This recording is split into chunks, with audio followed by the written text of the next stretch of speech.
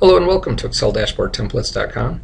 This is Steve Equals True. Please visit my blog at ExcelDashboardTemplates.com so you're sure to get the latest tips, tricks, and techniques and learn everything regarding Excel. Okay, today uh, I am going to show you my basic answer to a Friday challenge that I posted last week. An Excel user in a forum had uh, submitted some data like this. Said, uh, okay, so we've got January 1st through January 10th. We have this kind of resulting data, and when I graph a line chart, you can see we have a couple of outliers. We have on January 4th, we have this number 2, and then on January 7th, we have uh, this number 30. And so those two data points are kind of an outlier.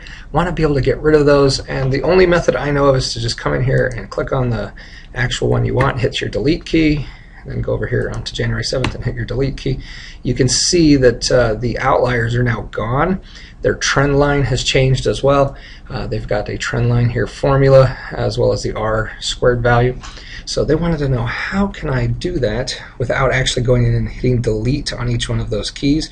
So that was my Friday challenge and uh, got some great answers from some folks. Uh, one person, Pete, you can check it out on my blog, um, he actually created the slope of the line uh, and gave you a percent difference with a pick list that you can choose to eliminate different data points uh, using the pick list and actually graphing the data points that you have uh, and figuring out that difference is really pretty cool solution. Uh, let me show you how I went about doing mine.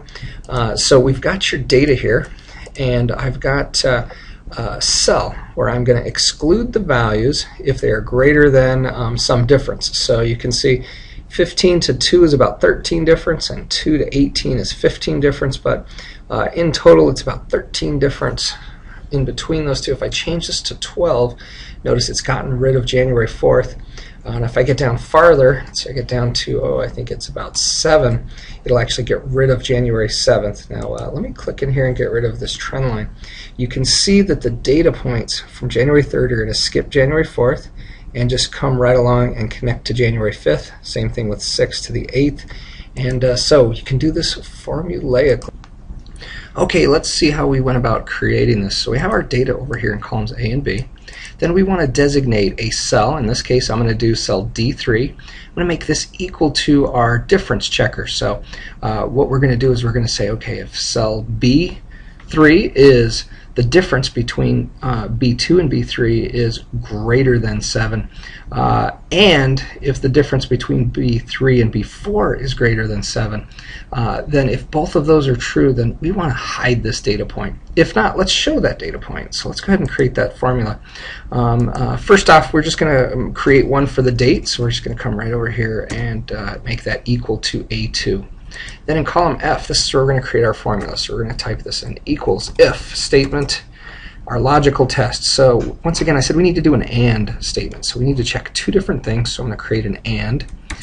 And uh, I'm going to look at the differences, but since the value that I have in D3 is positive, I always want my differences to be positive as well instead of negative. So I'm going to make sure it's an absolute value, so it returns the absolute value of the number, basically the number uh, without a number sign. So um, get tab there, and now what I want to do is I want to say if B2 minus B1, since I have no value in B1, uh, that will work just fine for us. If that difference is greater than cell D3, and I'm going to hit my uh, absolute reference there. Oops. And hit F4, there we go. So we made that an absolute reference of uh, D3. So if that is the case, um, or, uh, or the AND, so we've got the absolute value once again, and we're going to check B2 minus B3 is greater than D3, and I'm going to make that an absolute reference.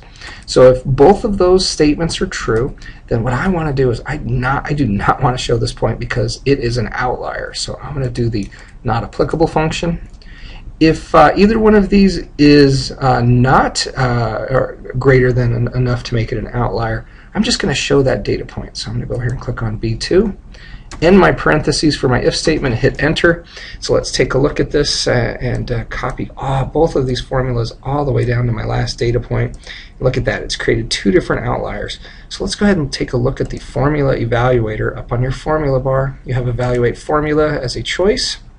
So we've got our formula in here, and we can say evaluate it. So if B5, which in this case is uh, 2 minus B4, which is 15, that's going to be a negative 13. Absolute value of that is 13, and that is greater than 7. Yes, that's true. So we have one true statement in there. Then it's going to check and say is B5, which is 2, minus B6, which is 18. If that, uh, which is going to be negative 16, absolute value of 16 is greater than our uh, outlier number uh, units checker.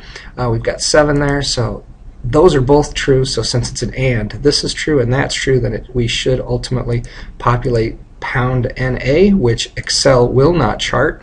Uh, and so all of our data is correct. For the other ones, they don't meet that criteria.